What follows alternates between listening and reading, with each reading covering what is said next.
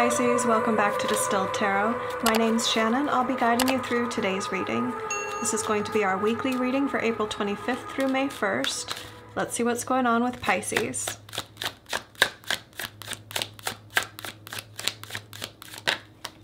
At the heart of your reading, we have the Magician reversed and the Two of Swords.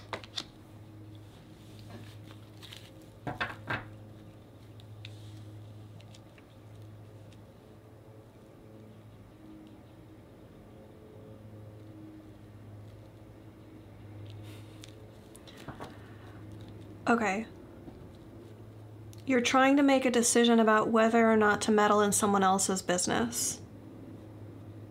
You know that you have the power to affect the situation, you believe that you could help, but you're not certain they want your help, and so it would technically be like butting in.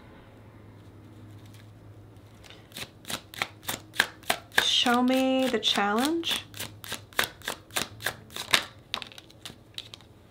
Hanged Man in reverse.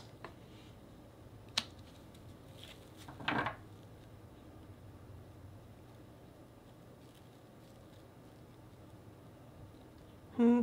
This could be saying that you think they're not taking long enough to pay attention to something like they're just breezing past some details where that they should actually focus and learn from and study and analyze. They might be ignoring pertinent information, in your opinion.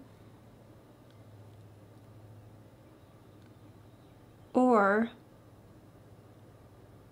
they could be in a rut, stuck in a pattern and a holding pattern, and you really just want to kind of like shake them out of this rut.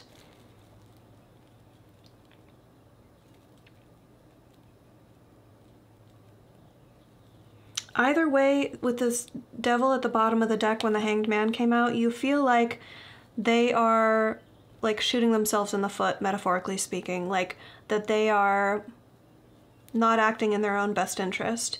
It's like you can see it and you you really want to be able to do something about it, but you're not sure whether you should.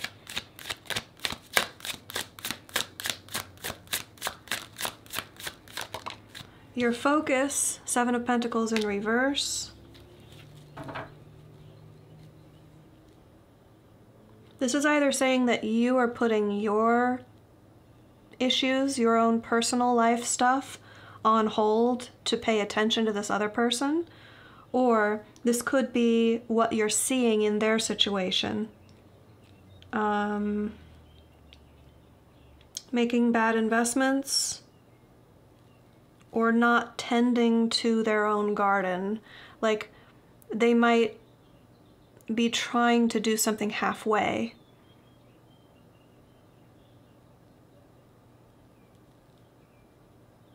Not fully committing to something and therefore like wasting their efforts.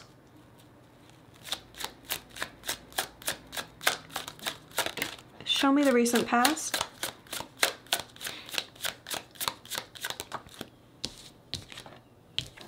Page of Pentacles. Okay, so this might be your child. Which would make more sense with the vibe I was picking up because it's like you have a how to say this?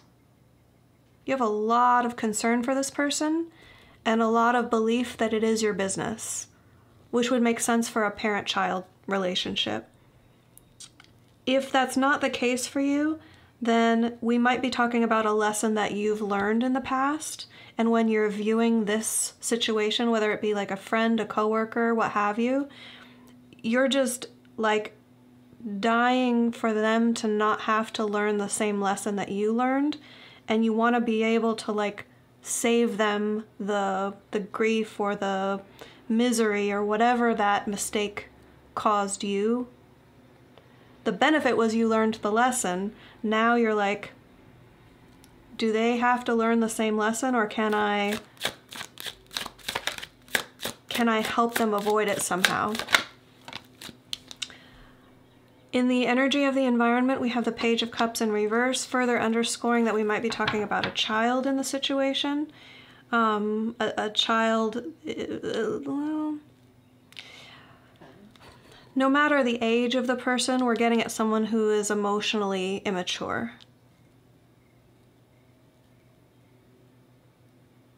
They they may make frivolous decisions like spur of the moment or like whatever they're feeling in that moment. Um I'm yeah, not not able to think about what's going to make them happy tomorrow or an hour from now. That sort of like emotional immaturity. It's like, well, what's going to make me happy in this very moment? And that's all I can do.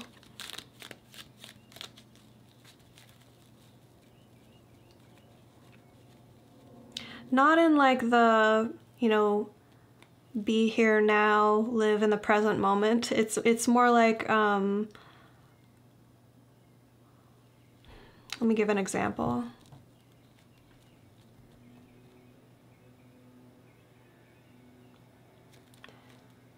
Uh, if you if someone needs to build their own shelter because they're like um, you know building a log cabin out in the wilderness to live in and this person would like chop down one tree and get tired and say well okay that's enough for me i feel like sleeping now and then have to deal with the consequences of like sleeping out in the rain and predators coming at them. And then, like, okay, the next day they may uh, put two logs together, but then, you know, it's like, sorry, I'm going a, a bit off on a tangent.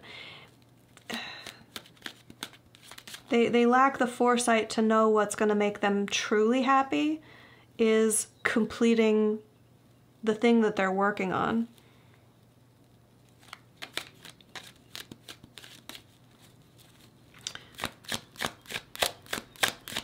Show me the near future.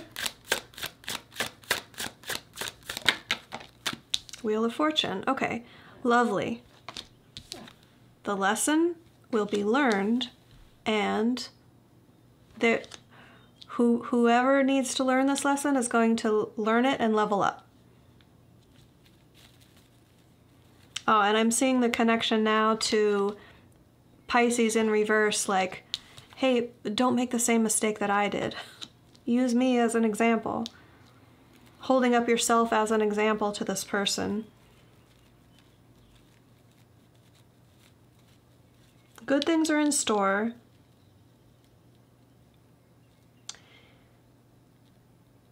It's also advocating for, for patience because part of the Wheel of Fortune is it's down to divine timing. This is all happening the way that it's meant to for this person's experience. Not to say that your advice and help isn't an intended part of their experience, but timing is definitely a factor here. Show me surprise energy for Pisces. What is going to impact a situation that Pisces doesn't see coming? Six of Swords, leaving the troubled situation behind. I feel like this is connected to what you want for this person. You want them to either st uh, stop behaving a certain way, stop tolerating a certain situation, get themselves out of a bad situation, get out of their rut, get unstuck somehow. And I think you're going to have an impact. I think this is them heeding your advice taking it seriously and making a, a big change in their life.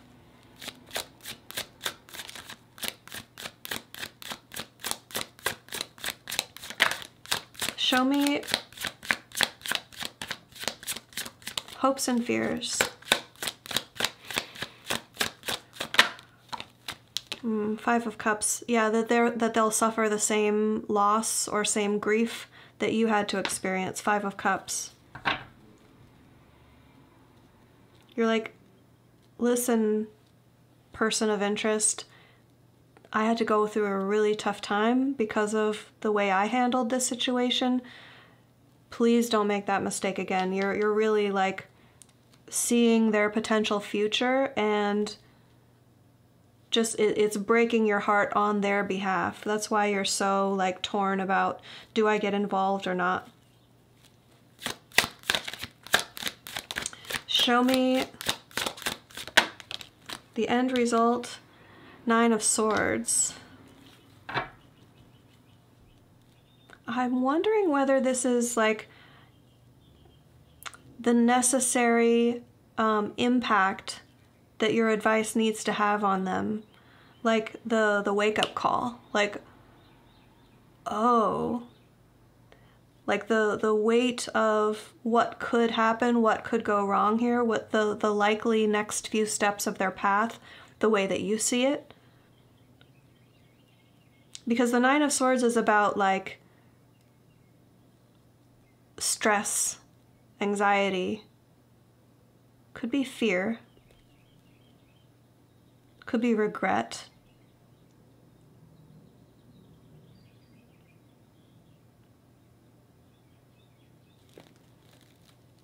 But I'm I'm actually seeing this as a, a an upside.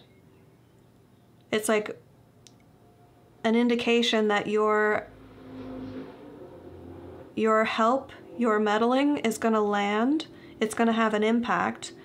The the turning point for them, however, is like the gravity that it has, the seriousness that it has. It's going to hit them hard. But I think it has to in order for them to change their ways or change like change their circumstance, change their behavior. Whatever they need to shift here, it's going to come through like a realization of like oh crap, this is serious. And if they if they're in a serious situation and haven't been acknowledging it or seeing it, the realization of that is going to hit hard. Show me advice for Pisces. Five of Pentacles reversed. You always have a home with me. If this is a child,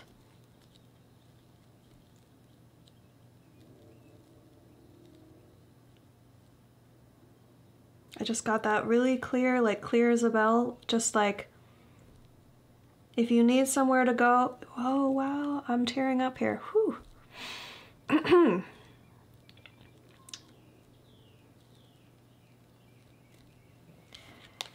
if this fits for your situation and you have a child that you feel like is in a bad situation and you desperately want them to leave, express to them if this is the case, that they always have a home with you. That you would welcome them back with open arms. Let me see if I can, uh, for those of you not in that exact scenario, interpret this advice for a different uh, situation.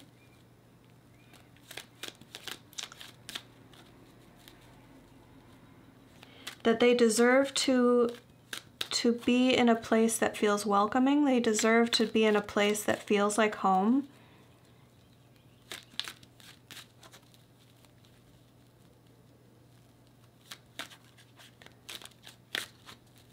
That you would encourage them to make the change and you'll be there for them during that period of change. Okay, Pisces, I hope that helped. Enjoy the rest of your week, and I'll see you back tomorrow for the dailies. Bye.